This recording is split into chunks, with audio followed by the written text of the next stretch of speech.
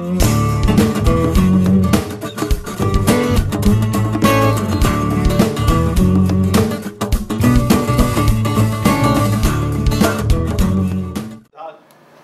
l'époque, avant, disons, l'information continue, les journalistes avaient le temps. Les pré-interviews dont vous avez parlé, il y en a de moins en moins. Les recherchistes sont devenus, je m'excuse de l'anglicisme, des bookers. Tout ce qu'ils veulent maintenant savoir, surtout ceux de l'information continue. C'est pas pareil pour la presse écrite. La presse écrite, euh, il y a toujours une conversation, puis on a le temps d'expliquer les choses. maintenant, les, gens des chaînes d'information continue qui se sont multipliés, quand ils vous appellent, c'est êtes-vous libre à 7h30 euh, pour une interview à telle émission. Ce que vous allez dire, là, c'est pas leur problème. Ils savent en gros ce que vous allez dire. Et leur problème à eux, c'est de trouver quelqu'un pour être là à leur dite. C'est ça le, problème. Des fois, on peut se préparer. Hein?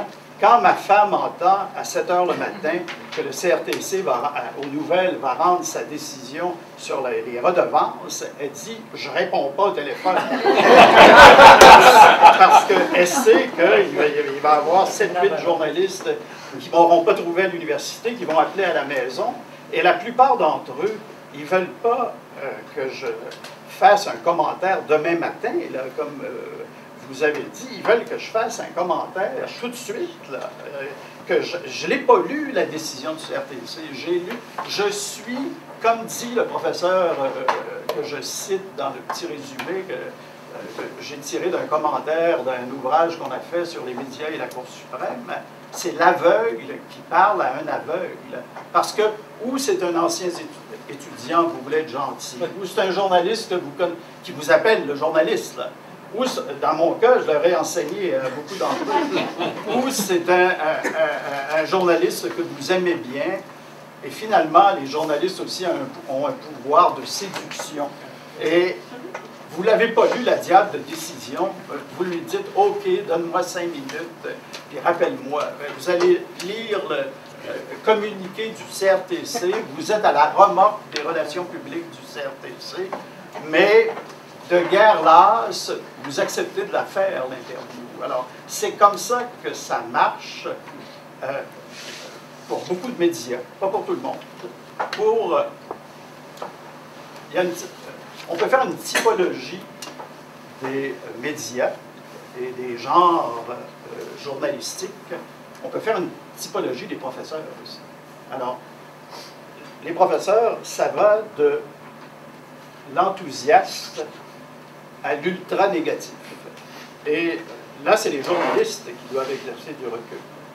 Dans le cas du professeur, euh, euh, moi, quand je dis non maintenant, c'est parce qu'on me demande de faire ça dans cinq minutes. Euh, et puis parce que les problèmes deviennent de plus en plus compliqués aussi, puis vous n'êtes pas spécialiste en tout. Et je dis de plus en plus ça aux journalistes. Moi, je ne suis pas un spécialiste en tout. Il y a des choses que je ne connais pas.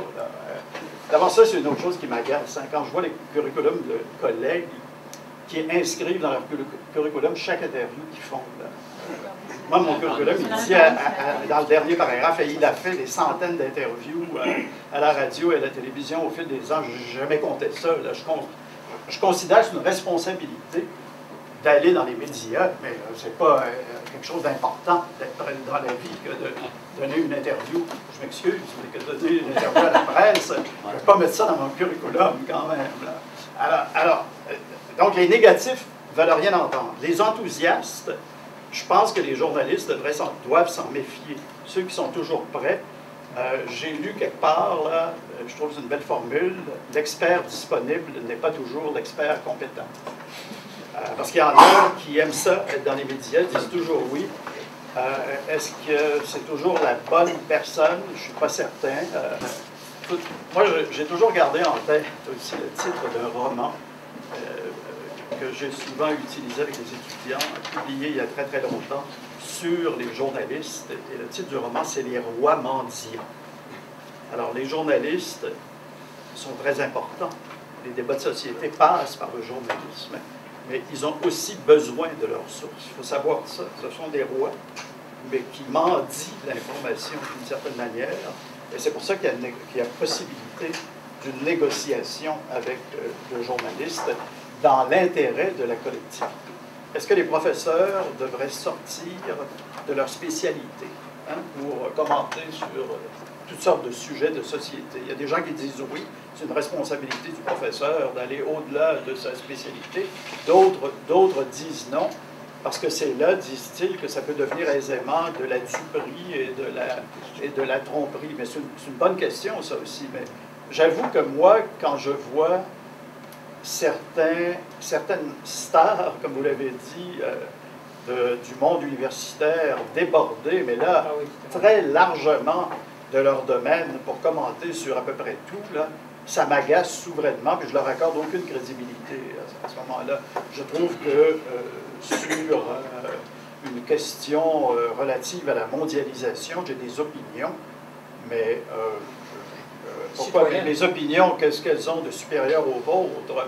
Si on me pose des questions sur la mondialisation des médias, là, je vais accepter de répondre. Mais je ne déborderai pas trop, trop, trop, parce que je, vais trouver que j'ai le même problème que celui que j'évoquais tout à l'heure. La loi de la faillite, je ne connais pas ça. C'est pas parce qu'un média vient de se mettre sur la loi de la faillite que moi, je suis devenu un expert en loi de la faillite, qui appelle à la faculté de droit. Je pense que c'est pas tous les professeurs qui ont qui ont le talent pour ça et qui ont la personnalité pour ça. Et c'est vrai qu'il y a des personnalités plus médiatiques que d'autres. Comme il y a des animateurs qui ont cette personnalité-là, puis que, bon, je ne serai jamais une animatrice, il y a il y a certains professeurs qu'on aime parce qu'ils sont des bons clients et qu'ils vont faire un show en nombre. Et nous, ben, c'est c'est déjoratif pour même le métier que je fais, mais c'est ça qu'on veut aussi. Parce que la, la code d'écoute, c'est d'aller chercher l'intérêt. Et un professeur qui est ennuyeux, même s'il est compétent, ça ne passera pas, puis ça ne va même pas servir votre, votre, sujet ou votre champ de compétences. Alors, le pétrole, c'est un sujet moi, qui, que j'ai toujours, toujours eu du mal à avoir des spécialistes vraiment intéressants. Le sujet est déjà rébarbatif. Quand tu as un professeur qui, en plus, euh, s'engouffre dans la, dans la mer de pétrole. On a une solution ce matin, c'est les cheveux. mais, mais, juste, juste un, mot brièvement. Moi, je trouve qu'il faut être prudent euh, du côté du, professeur. Euh, quand on, a l'habitude ou on prend l'habitude des médias, euh, on peut manipuler les médias. Et moi, souvent, dans une interview de 7-8 minutes, je savais, pour les nouvelles par exemple, je savais bien les deux ou trois fois dans l'interview de 7-8 minutes où je faisais un clip de 12 secondes. Et le plus souvent, c'est le clip que je retrouvais euh, au, radio-journal. Tu avais, une formation. Au radio-journal. Ben oui, moi, je peux bien vous faire une confidence. J'ai commencé à travailler dans les médias en faisant l'ami Florian, en animant une émission pour les enfants. Alors, il n'y avait pas d'experts, mais j'ai acquis à cause de ça une grande habitude des, des médias, c'est certain. Mais il faut faire attention à ça. Pas, euh, si, on fait des, si on se met à faire des clips, euh, je trouve qu'on déroge euh, d'une certaine façon à la nécessité de donner des nuances. les médias n'ont pas le temps de s'embarrasser des nuances, mais il faut quand même essayer d'en donner. Le monde n'est pas noir et blanc. Juste un, parce que je voulais donner un complément parce qu'on parle depuis, on a beaucoup parlé de clips, puis de secondes, puis de nouvelles moi, je suis de la presse écrite, même s'il y a une convergence, tout ça. Puis comme je disais tantôt, j'ai eu une formation télé il y a deux semaines. Moi, je suis terrifié de parler à la radio, à la télé. C'est pas quelque chose que je souhaite, même si je suis journaliste. Alors, je comprends très bien les gens qui ont des réticences de ça. J'en ai accepté des entrevues au début et je n'ai pas aimé l'expérience.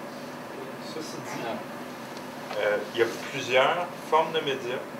Il y a plusieurs formes d'intervenir dans le public. Je vais choisir votre forme avec laquelle vous êtes plus à l'aise l'explorer jusqu'au bout. Puis si vous trouvez maintenant que vous êtes assez solide pour explorer l'autre forme, allez-y. Mais moi, je pense qu'il y a tellement il y a tellement de, cloches qui sont tombées sur toutes sortes d'experts. Les experts des gouvernements, on ne peut plus les interviewer maintenant. Il y a des biologistes, il y a des biologistes au gouvernement fédéral, au gouvernement provincial qui ont des choses intéressantes à dire sur la biodiversité dans la région de Montréal.